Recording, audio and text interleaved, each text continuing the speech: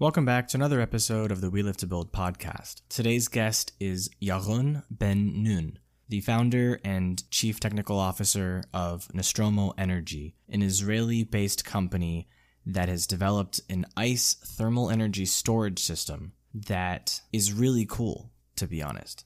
They recently went public in Israel, and in this episode, we talk about clean energy, why I'm afraid to have children pulling carbon out of the air and going public, things like that. So I hope you enjoy this episode. Yaron is a character, to say the least. He's extremely funny. And I actually cut out half of the episode because most of it was just goofy and off topic. I did leave some of that in for the end of the episode um, so that the first part of the episode is a little more serious and relevant so you can get the information from it that you want. And if you don't want to hear us be goofy together, you can just end the episode. Uh, if you want to hear us be goofy together, then finish to the end. I also want to announce before we get into the episode that this is number 93. I have already recorded to 100, so I'm working on them right now.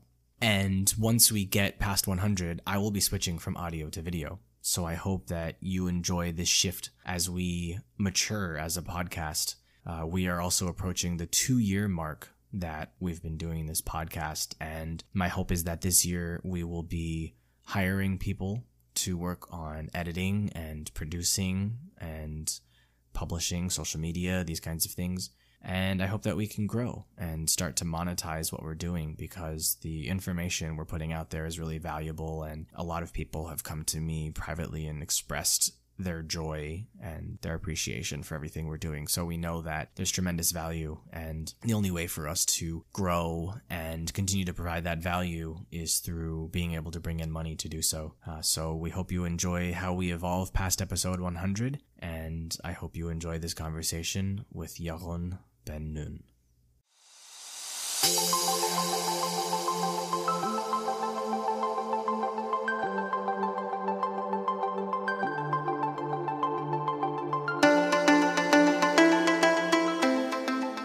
Welcome to We Live to Build. My name is Sean Weisbrot, and I'm an entrepreneur, investor, and advisor based in Asia for over 12 years. Join us every week to fast track your personal growth so you can meet the ever increasing demands of the company or companies you are passionately building. Time waits for no one, so let's get started now.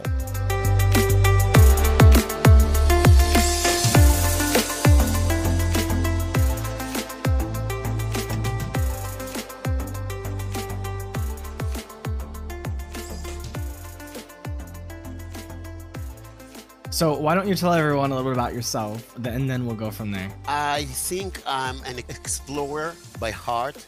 I was explorer way before I became an entrepreneur, uh, way before I knew this word even. I was enlisted to the army and uh, served as a jet fighter pilot uh, for seven years of my life. Then I finished my service and I started a career as an author, as a, a director of films. I was uh, I directed mainly documentaries and TV commercials and television. And at 2009, I had some kind of a middle life crisis or something close to that. And I decided that I would like to redefine myself and my occupation and the essence of what I'm doing. I started to ask myself questions. Why am I here? For what legacy I will leave? All these questions comes when you understand finally uh, that you're going to die. I believe I was about 39, 38. I was father to two already. And I felt this, you know, the time is passing by and, and what I'm doing is is useless in, in many ways. So I decided I would like to discover if I have anything to do or to contribute or to find uh, myself more comfortable with operating in the field of the emerging clean energy. At that time, 2009, uh, solar, it was the hype of the, of the clean tech uh, bubble. Uh, if you remember, at 2010, this bubble burst, and that was just two years after the subprime crisis. And uh, so I got actually in the midst of this, uh, I would say, new era collapsing. but I didn't really care about that. I just wanted to find a place that I could, uh, you know, uh, feel that it's my spot, it's my place. Uh, anyhow, solar, I did not have anything to contribute to solar. Solar seems to get along quite good without me. So I started to work in other startup company called Phoebus, which are doing hybrid um, heating for uh, for sanitary water for hotels and uh, sports centers with uh, machines called heat pumps. So they do like hybrid, reducing carbon to heat water for a different usage. And two years later, I hooked up with two guys came from Oracle. They knew a lot about supply chain and they had an idea to make an energy management system for manufacturers, for factories. And they saw me as a big uh, one that comes with a big knowledge in energy. Of course, they were wrong. I knew very little about energy, but for them, they looked at me and say, okay, this guy knows actually what is a kWh, BTU, calories. Come along. I invested in this company, and today this company is called Zira. They're operating in uh, California mainly, San Francisco Bay Area, at 2006 when I was in the midst of uh, getting a $5 million grant from the CEC, the California Energy Commission for ZIRA, I started to see anomaly. And the anomaly was that a year before there was an event, very, you know, very like under the radar, uh, but for the people in the clean tech energy, it was a huge event. It was the moment uh, that the solar panels prices dropped and the cost of uh, kWh from solar met the kWh cost from the grid, which was fully you know, um, fossil fuel based. And, and, from that moment on, the, the summer of 2015, it was uh, very clear that the cost of solar will drop and solar will become the main energy producer economically it doesn't really leaning on the tree huggers uh, for this for this revolution to thrive it was it was already very sure that economically the kwh for solar is going to drop and actually today we're talking about one and a half us cent per kWh of solar, two cents maybe, and still uh, the grid cost of energy is between 8 to 12 uh, cents. So that was already proven. But 2016, everybody started to talk about the next revolution, which is the storage revolution. And there I looked the trends. What are the energy storage analysts are saying? And they all were talking only one thing electrochemical batteries. Uh, since I was already deep into the big data of consumers of electricity on the grid, because uh, Zera is an IIoT, what meaning uh, industrial internet of things big data company. So we gathered a lot of data. We saw the picture very clearly and it was very obvious that the biggest consumer on the grid is cooling systems. And I knew another thing, I knew the tap water are a great mean to store cold energy per se, meaning you can use electricity when there is surplus and you can make ice, transform water to solid ice. This quality of water called the latent heat of water water has the highest latent heat in nature meaning the ice cube you know very closely is an amazing phenomenon for itself you can store cold energy in very high density with water but i also knew that there was no available technology that could actually uh, utilize this uh, phenomenon uh, in a way that could take off cooling loads in massive scale. So in a moment should have been a little bit crazy to do that. I left the company. I came to my family and I said them I want to raise $100,000. Let's call it pre-seed.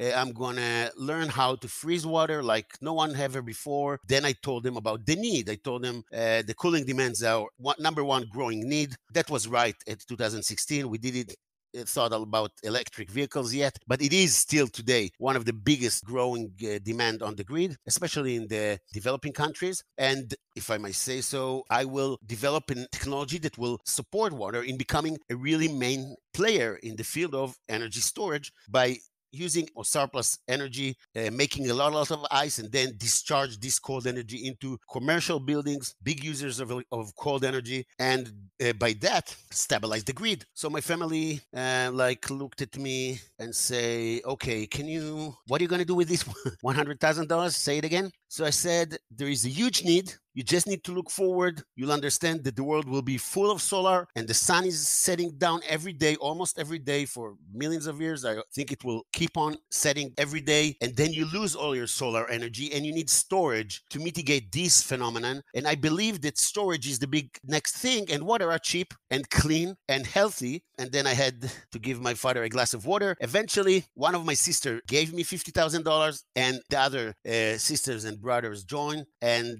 uh, last, my father, which is, he is a well-known businessman, you know, and like um, a real gentleman. Uh, he said, okay, I'll join them. It's crazy, but I'll join them. And there was no fr- friends, only family in this round, raised $200,000 eventually. And for eight months or so, me and uh, two partners of mine, Eyal and Ori, we went into stable. It was like a deserted stable behind the the my father and mother's uh, house and we started to freeze our way towards the ice brick a year later we closed the the, the seed round. It was 4.6 million dollars and then we already had a, um, a prototype working. It was very promising. Uh, if i'll show you a picture of it to you you will laugh it really looks like you know children trying to get to the moon building a ship from you know some trees they found in their backyard. It's funny. It's only six years ago but it looks like ages has passed already and our second round the seed was 4.6 million dollar. We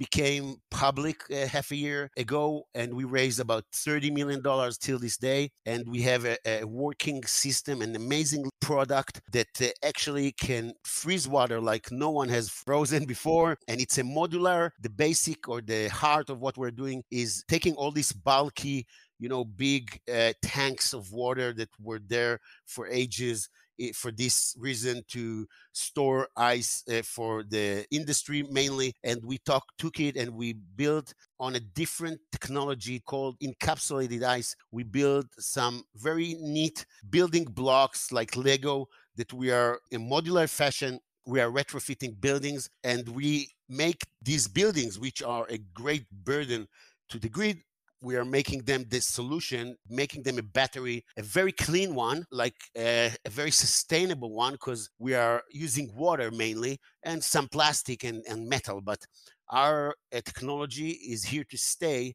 meaning water you can freeze and thaw or melt for billions of times. It's a physical phenomenon, not chemical. They don't, uh, you know, age. Uh, so we have already proved that uh, after 6,500 uh, cycles, we lose less than 1% of the ability to freeze water. So it's it's not like you know any other electrochemical solution which are degrading, and then you have huge problems in the supply chain to get rid of it. Uh, we believe that lithium ion is amazing, but whenever you can avoid it with uh, simple and clean means, you better avoid it, especially inside buildings. And uh, we believe that uh, we have, uh, yeah, we have a great solution. We already installed two systems here in Israel. We are now installing the third one, 1.5 megawatt hour in the Beverly Hilton, and we have other projects coming up. And um, we hope to bring water into the discussion, to the heart of the discussion of that paving our future. Um, we would like to see our future full of renewable energy and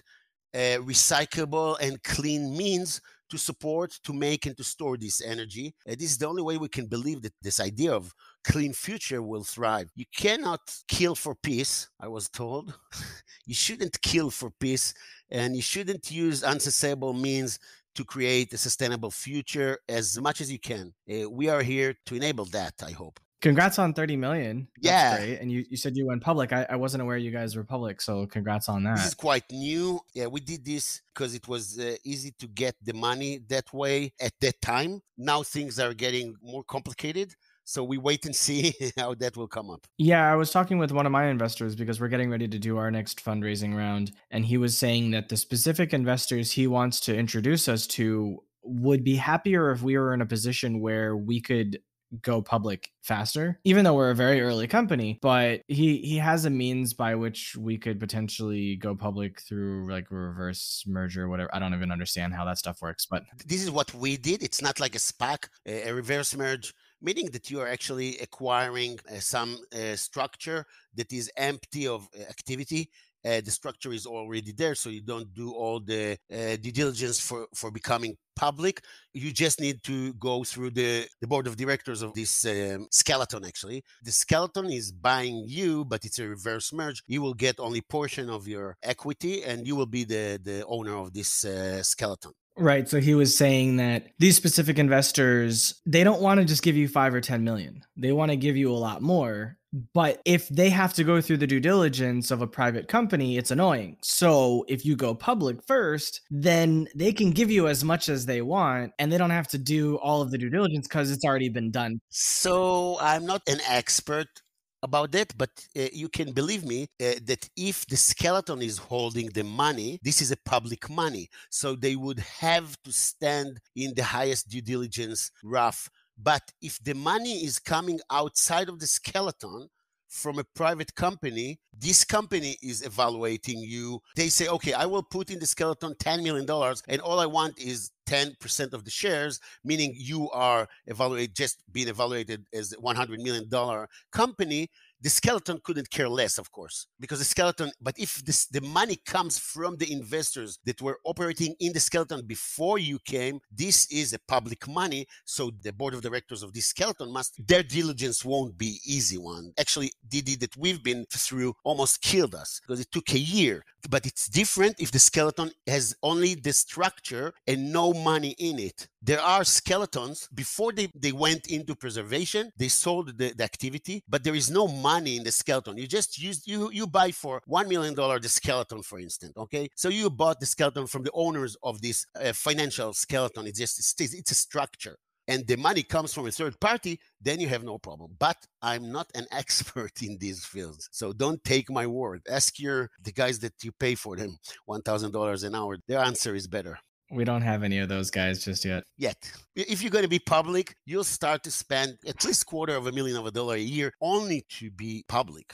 Yeah, it's crazy. But hey, if these companies want to give us tens of millions or hundreds of millions of dollars in investment to build our company, I think a quarter of a million dollars a year is a worthy expense. Yeah, yeah. Who, who can ever pay a quarter of a million a year just to be something? It must have much more to be whatever he's there to be. It's an executive salary. Yeah, yeah. It's not that much. This is for the Israeli stock market. If you're going to be, you know, in the United States, in the NASDAQ or whatever, uh, I'm sure these numbers are double. Well, so we're a Singaporean company, so I don't know what that looks like, but he was talking about something about Canada, so I don't know. Well, Canadian dollar is already 30% less. It's like 70 cents. So take everything I'm saying, you know, 30 cents down. I'm joking, but I would check. You know what is the biggest problem to go public? if nobody cares because if you're going to be public and the, the trading in your company is low there is a low you know activity you are down i mean you are exposed to some mean things just think about it that nobody really cares about your stock so you need to be sure that your stock will be active because otherwise the people that already hold the money, they see that there is no activity, not a lot of money is being exchanged every day. So they are now prisoners in your jail. They cannot liquefy their money. So somebody just lose. I had this case some people came to me they were i inherited them from the other company. They asked me what's going on? Is something going on? I said look this is inside information. I cannot talk about it. They became impatient and they decided to drop their money. They just drop it.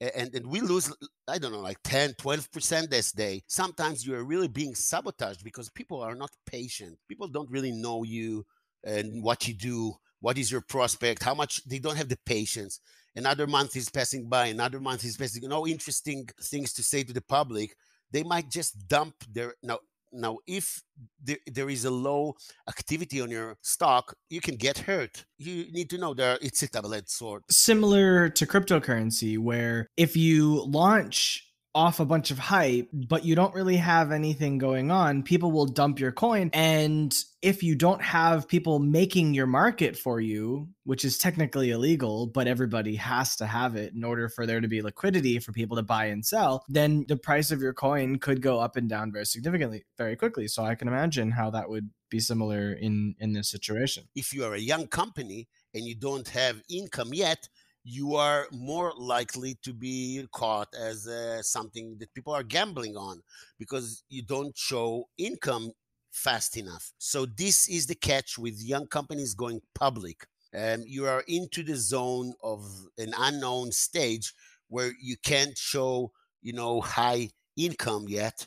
Uh, so it's all about whether I believe, and if I believe I buy your stock, then how much I will keep on believing in you. Another month's pass, another month pass, if I will drop this stock, it will affect you. There's ways around this. Use some of the $30 million to have a PR team. and their specific job is to get you booked on every TV show and radio station and podcast and everything they can all day, every day, so that it's not that paying for PR, but very little. And we had a lot of coverage here in Israel and outside of Israel. The World Economic Forum had a, a long article about us uh, stating that uh, every leader should think about how to promote such technology. We are huge believers in what we are doing, but uh, implementation and execution takes time, and we bleed for that. And supply chain and uh, COVID 19 and the costs of freights and so forth. But I love it. I love these challenges because we are actually doing something. We're not just bragging, you know, we are working in it uh, we're changing the world. This is our mission. Uh, we are proud of, of, of, trying to do that or, or aiming towards that. Uh, and I believe today that either you are helping or you are pulling us backwards. and I would like to wake up in the morning and be uh, on that side of the equation, really. I totally agree. I mean, a few years ago, my team was like, look, our research has shown that CEOs are being expected to be vocal on social media about these issues, about all sorts of issues, whether it's a social issue or a political issue or a climate issue. People want to know that you're alive, you have a heartbeat, and you have an opinion, and they want to hear what you have to say. And I was like, yeah, but that's not who I am. Like, I'm building the product, I'm focused on that. And they're like, yeah, but if you want people to know about what we're doing and why it's special, you got to get out there. And so I, that's one of the reasons why I created the podcast because I thought that was a really good way for me to express those views. From what I see, the companies that succeed are the ones that are on the minds of the people. Now, I personally think Trump is a horrible human being, but that guy has the world talking about him now for six years every day because he's constantly telling people what he thinks about every tiny detail of what the world is doing. So he has captured the hearts and minds of people, even if they hate him. yeah. No news is bad news for a company. Whether people are saying good things or bad things about what you're doing, if they don't know about you, your stock price will never go up. I will tell you that uh, when I asked myself, is going public is reasonable? The straight and the fastest answer I got was, of course. Of course, and why? Now more than ever, the public should have the opportunity to be your partner since we are paving the future. And the public, the only ways he can impact the future is either with his vote or the way he lives or where he invests his money. Let's say you eat meat. I mean, I eat meat, but more and more rarely. Every time I pay for my meat, I really look at it as I am feeding this monster. And meat, as you know, the meat is one of the biggest influences on the global warming uh, uh, in many, many aspects. Uh, the rainforests are, are, suffering a huge suffer for the meat we are eating because because all these you know protein uh, industry goes on their behalf and many many other issues so at this time i think it has a huge influence deciding to cut your meat to eat less or to go on to you know beyond meat or uh, impossible meat or whatever this has a real impact on how fast our world is changing and being entrepreneur in, in, in, the field of, of supporting what we are doing in, in Nostromo. Nostromo is the name of the company I'm leading. Uh, so what we are doing is supporting renewables. Now I'll tell you a secret. The ramp up is a phenomenon that is being measured every sunset in California mainly because California has so much solar that the sunset drive down the solar and that brings the fossil fuel ramp up meaning the demands from the grid are huge while the sun is setting down. And a few days ago a new world record was broken in california. The ramp up for three hours was 16 16,900 megawatt drop. 16,900 megawatts. This is almost 17 gigawatts of electricity was vanished from 4 p.m. to 9 p.m. through three hours of ramp up. They measured this huge demand for fossil fuel. Uh, mostly uh, they imported from I don't know where Nevada, Arizona, and so forth, and that shows you how extreme the grid is going to be when more and more solar will kick in. So we as leaders of energy storage clean technologies of energy storage know that anyone that can help lowering this curve or this um, cliff of the ramp up uh, and discharging your energy through these three crucial hours, this is actually what helps renewable penetrate in more quantities. And California today has 16% uh, from the total energy being produced, and they have 50% goals. The 2030 goal of California is reaching 50% solar. That's going to be crazy, crazy. So we need a lot of storage in order to make it happen. Uh, we need to support storage, but I, I'm just saying, try to make the storage a little bit more sustainable. While you were saying that, you gave me an idea. I was thinking about, can't remember his name at the moment. Chuck Norris. Warren Buffett. Uh, Warren Buffett, okay. Chuck Norris is a worthy mention, of course. Okay. If Chuck Norris could do what everyone thinks he could do, he would just kick all of the carbon dioxide out of the atmosphere. He would inhale it. Okay, he'd inhale it. All right, fine. So I was thinking about Warren Buffett and how he owns a company that specifically invests in other companies where they're public, and so he just gets he buys shares and he holds those shares. And I've been thinking about how my company, even though we're not in clean tech, can do something to support it. Mm-hmm if my company can invest in private companies like that, then there's no reason why we shouldn't also be able to invest in public companies that are doing that. Of because we ourselves are completely incapable of going and being carbon zero because we are completely beholden to all of the companies that we pay for services from and none of them are are in this state. So it's impossible for us to get there. And i think a lot of other companies are in this same position. So if we can take our profit and invest in companies that are trying to do things to make these changes then maybe we can help to get those other companies that we buy from to get there faster. It's called carbon trading in a way. You can actually buy credits for carbon carbon. You can pay companies that has credits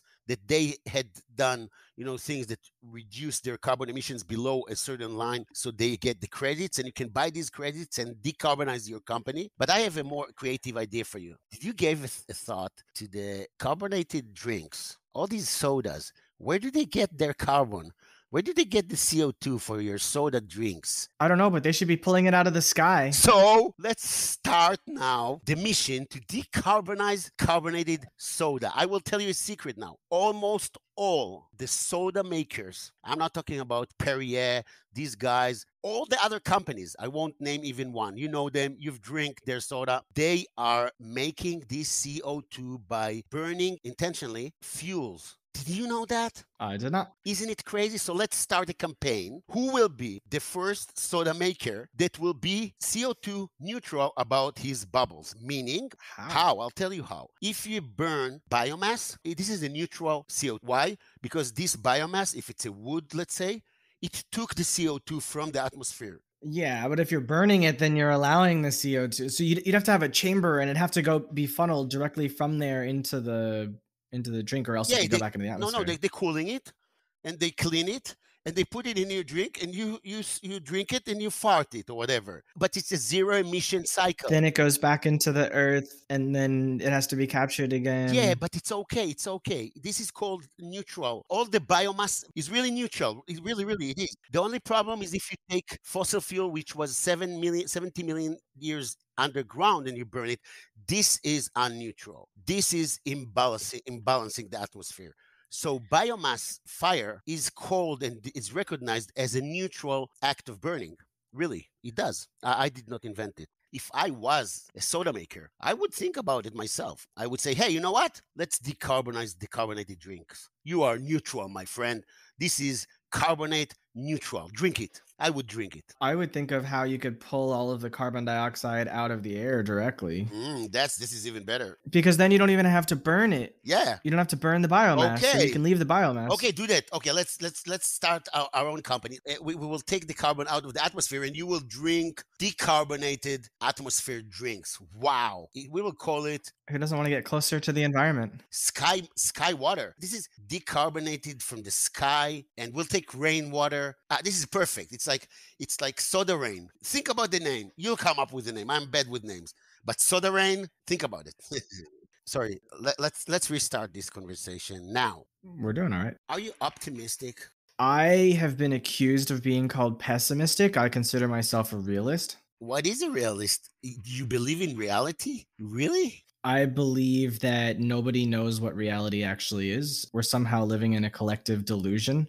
Okay, I I- can relate to that. If you had the fiance or the spouse, I was married before. okay, and, and- and she came to you and she said, "Look, I'm pregnant," and do you really love her, would you go for that? Being a father in our world? I would do it because I love her and I love children, but I honestly think that having children right now is a really bad idea. Because now is the the end of something or the start of something? What what, what is now? It's both. Are you aware that this is one of the best times of, of, of for the humankind to be alive? Yeah, but I'm also aware that climate change is going to probably next the next 200 years really difficult for humans. Let's fight it together. Bring your children. I don't eat meat. I'm a minimalist. I don't buy things. I have a very low carbon footprint on an, as an individual. I'm just one You person. Great. Yeah. Everybody else I know doesn't care. I spend a lot of my energy trying to convince people to like think about these bigger things and change their behavior. And they're like, "Oh, but that's just too difficult."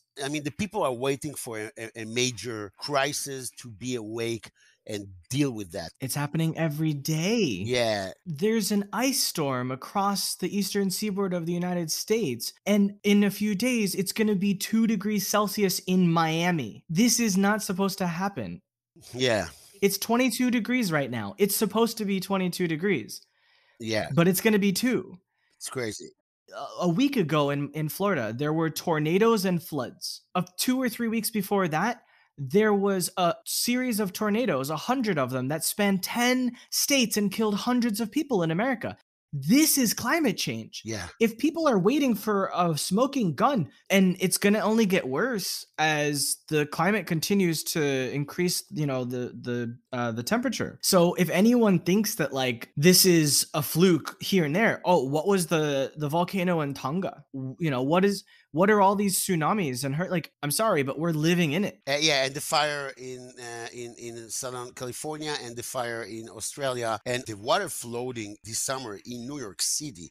That was terrifying. That was really terrifying. The flooding, the underground, the subway in in New York City. Oh yeah, It was so crazy. That's because the metro stations were built like a hundred plus years ago, and the water is underneath sea level. So when you have a hurricane, it's gonna flood it. When you have a tsunami, it's gonna flood it. These things are not designed for it, and that stuff's not supposed to happen, and yet it is. The only explanation is climate change. What we're gonna do? What what is your plan? Well, the, the problem is these things were caused by companies and their greed. And it requires people to change their act in, on an individual basis in order to convince companies. And I there's two ways of doing it. One is be on social media and complain and complain and complain until eventually they have no choice but to make a change because the people are complaining and society is against them. Or stop buying their products so that they run out of money and they fall apart. And the ones that change are the ones that survive. However, that's not going to happen for the most part. And they're going to keep buying from them. It's like people using Facebook products despite being disgusted about how, you know, they have disgusting business practices. But people are going to continue to use Facebook. Why? Because everyone they know is on Facebook. So we're locked. Right. You're asking for companies to change, but they don't care. You're asking the people to force the companies to change, but they don't care. You're asking the politicians to get together to make change, and they don't care. Maybe that will change. I think we've got 200 years left, maybe, before the Earth is unlivable for humans. And once all the humans are gone, the planet will rebound. The animals will come back, everything will be fine, and a new species will take over. You still have 200 years for your children. This is at least four generations. Yeah, but they're gonna suffer. Why would I want to bring them in, onto the Earth if they're gonna suffer? Well, every human being in the history of humankind thought that his children going to suffer. If you were in 200 BC, they always suffered 200 years from today, before the, the second industrial revolution or even before the first one. They did not have an engine. They did not have the railways, trains. They did not have lights. They did not have Wi Fi. I mean, That's not suffering. yeah, it is. Take the Wi Fi from me, I will kill myself. Let me tell you what suffering is. Tell me. Suffering is not having clean water, clean air, clean food. Lots of these guys uh, 200 years ago had some severe problems to get clean water. That's it's different. They could get it. What I'm talking about in the future is wars will be fought over the last drop of But we're not there water. yet. It's just something you presume that will happen if you will sit on your ass instead of fighting climate change. Of course, it will come. I do everything in my power to fight climate change with the resources that I have. But me as an individual can't do anything more than to try to change the people around me after changing myself. Let's decide on one thing that we can do together. Let's start this campaign for decarbonizing decarbonized drinks. Let's try. Uh, light on them. Tell them you would like to keep on selling soda. Get it from the sky. Go get your soda. Then we'll buy it. Let's start a campaign together. That that could be a great campaign. That would probably require a $100 million in investment. No problem. You'll get them. Go to Bill Gates. Bill Gates will support you. So, how can people follow up with you? It's Yaron, Y A R O N, at nostromo.energy. All right. Thank you very much for your time, Yaron. I appreciate it. If you like this episode, look forward to some of the outrageous content we're going to put out this year talking about psychedelics and AR, VR, XR, metaverse, AI, blockchain. Uh, don't forget that entrepreneurship is a marathon, not a sprint. So take care of yourself every day. And don't forget that sustainability is something we should all be thinking about and, and not just thinking about, but trying to do something about. And if that means working with the people in your team and your partners in business to find a way to decarbonize what you're doing, then that's what you should be doing right now. So thank you, Yaron. Thank you, Sean. Thank you very much for this amazing show.